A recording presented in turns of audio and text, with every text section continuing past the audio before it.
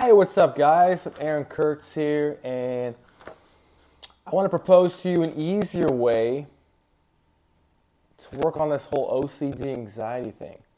Now, you're probably wondering, easy? How could this be easy? What's easy about this? It's only been hard for me. And that's what I want to share with you. Alternative method, alternative method here, way of understanding this process.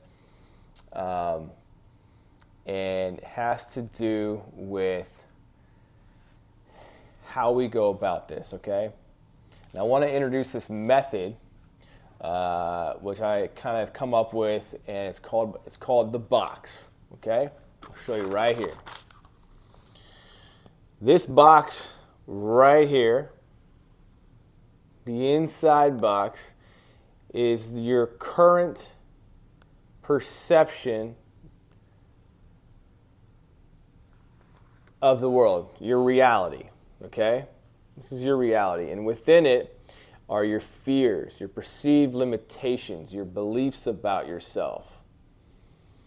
All these things that make up how we perceive the world, how we understand ourselves, what we believe about ourselves, our self image. Okay?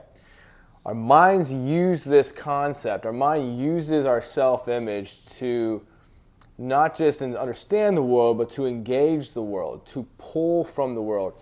If you have two people going to a, meet the same person, they're going to pull different things out of that experience than the other person has to do with this. It's all about how you understand yourself, because the universe is really. I'll say it this way: you are really at the center of the universe your whole reality is all about you.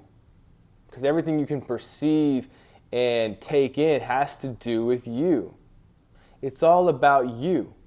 Okay, so uh, it's been said, like, I think I read something like that, like, in any kind of experience in your environment, there's billions of data points and things that you can perceive. Well, you could perceive. You can only perceive so much. You can only take in and observe and become aware of so much. And so how how's that selection process happening? Well, it's based on this. Because within this box, your self-image is also your like I said, your fears and your beliefs, your ability to survive. And a lot of times, what we can understand from our environment um, and what we are, we, we are kind of allowed to do is based on what our mind believes is safe for us. What's safe for us?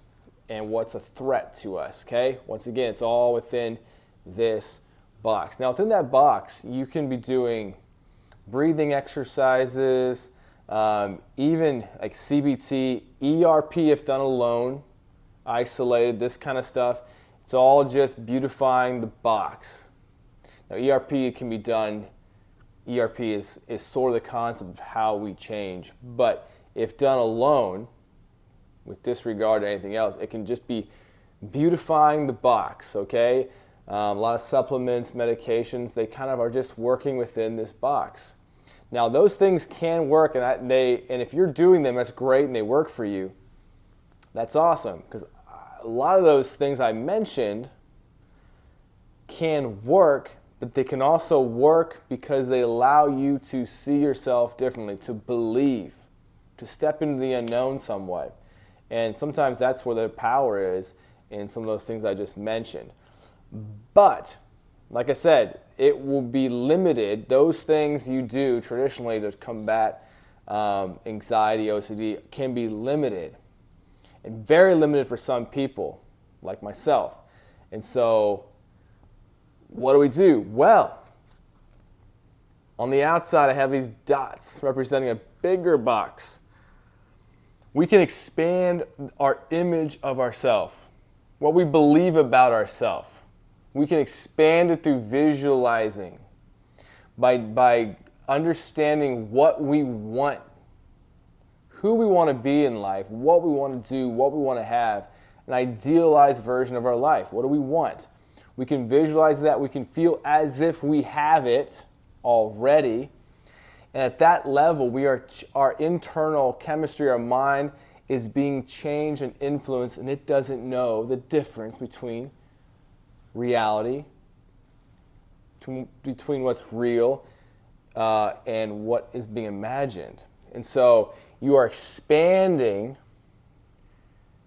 your your uh, potential way out here. And I have it in dots because the dots is sort of when you haven't hasn't quite um, been wired in yet, but you're expanding. You're starting to think in those bigger ranges, um, feel in those bigger ranges, and that's what's going to propel you to take action in alignment with that bigger self you're imagining, that more um, fulfilling, encouraging, positive, limitless self image you are creating about yourself, okay?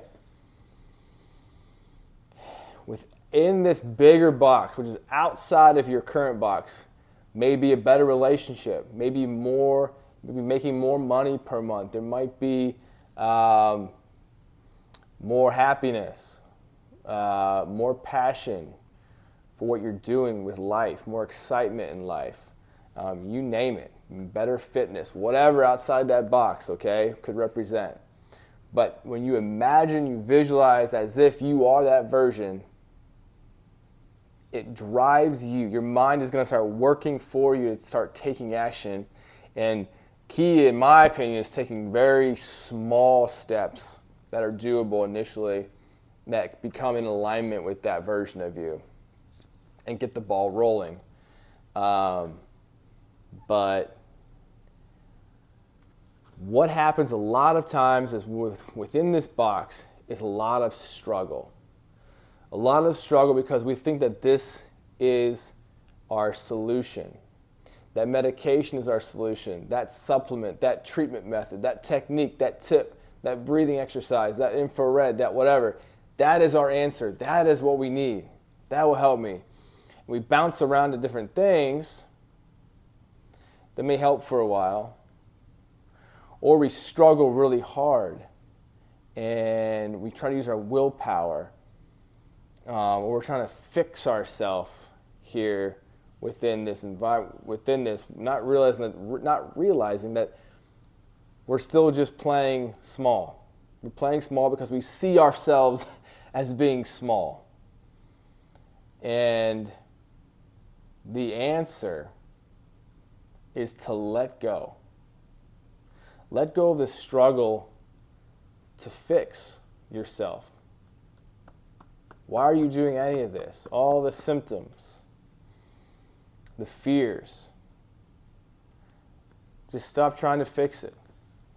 There's not, you're, you are okay. At your core, you are. There's nothing wrong with you. And you can let go of trying to fix yourself because those things really don't punch the needle forward as much as visualizing a new you. And essentially that's what it comes down to is that the old you is one in which OCD grows and thrives. And it's by changing who how you view yourself, how you see yourself is where OCD just gets replaced. Um, and it's a little easier.